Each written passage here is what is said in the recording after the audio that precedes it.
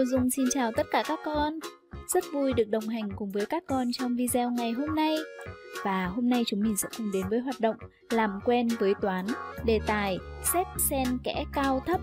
Nào, xin mời tất cả các con. Trước khi đến với buổi học ngày hôm nay, cô mời các con cùng đi tham quan khu vườn nhà bạn thỏ qua màn ảnh nhỏ nhé. Chúng mình sẽ cùng quan sát khu vườn cây ăn quả nhé. Cô đố chúng mình biết Cô có cây gì đây? À, cây táo và cây cam đấy Cây táo và cây cam Cây nào cao hơn cây nào? Cây táo cao hơn cây cam Cây nào thấp hơn cây nào?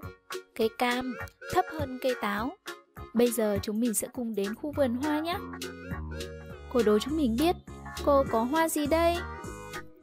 À, cây hoa hướng dương và cây hoa hồng. Cây hoa hướng dương và cây hoa hồng, cây nào cao hơn cây nào? Cây hoa hướng dương cao hơn cây hoa hồng. Cây nào thấp hơn cây nào?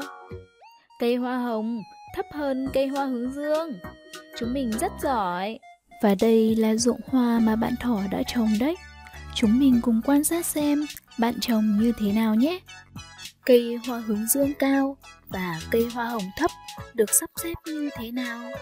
À, bạn trồng từ trái qua phải, cứ một cây hoa cao đến một cây hoa thấp, rồi đến một cây hoa cao, một cây hoa thấp, một cây hoa cao, đến một cây hoa thấp, và cuối cùng một cây hoa cao, một cây hoa thấp. Cứ lặp đi lặp lại như thế, được gọi là sắp xếp theo quy tắc một một đấy các con ạ. Bây giờ chúng mình sẽ cùng quan sát lại một lần nữa xem bạn sắp xếp như thế nào nhé.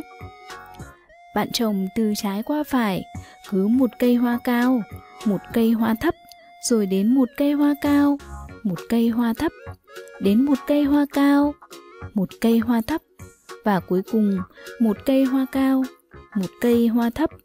Cứ lặp đi lặp lại như thế, tạo thành chuỗi sắp xếp theo quy tắc một một để hiểu rõ hơn cách sắp xếp của bạn, chúng mình cùng quan sát bạn thực hiện nhé.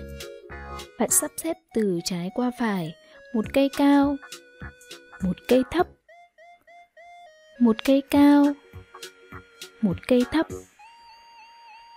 một cây cao, một cây thấp, một cây cao,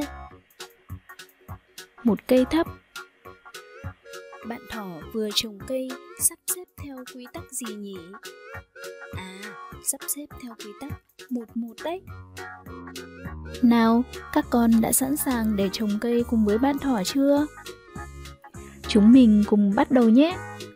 Một cây cao, một cây thấp, rồi đến cây gì? Một cây cao, một cây thấp. À, tiếp theo là cây gì nhỉ? Cây cao, cây thấp. Và cuối cùng là một cây cao một cây thấp. Như vậy là các con vừa được sắp xếp theo quy tắc một một. Đây là quy tắc sắp xếp hai đối tượng cao thấp đấy các con ạ. Bây giờ các con sẽ cùng chuẩn bị bàn tiệc với cô để liên hoan nào.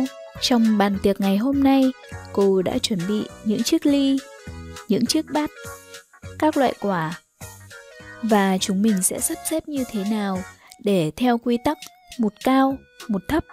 Chúng mình đã biết cách sắp xếp chưa?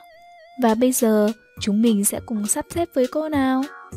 Và cô xếp từ trái qua phải như sau. Một ly cao đến một bát thấp. Một ly cao, một bát thấp. Và cuối cùng một ly cao, một bát thấp. Hôm nay, cô cùng chúng mình vừa được sắp xếp theo quy tắc một cao, một thấp đấy. Ở nhà, chúng mình hãy sử dụng đồ chơi, đồ dùng của chúng mình để sắp xếp thật nhiều nhé. Cô Dung xin chào và hẹn gặp lại tất cả các con.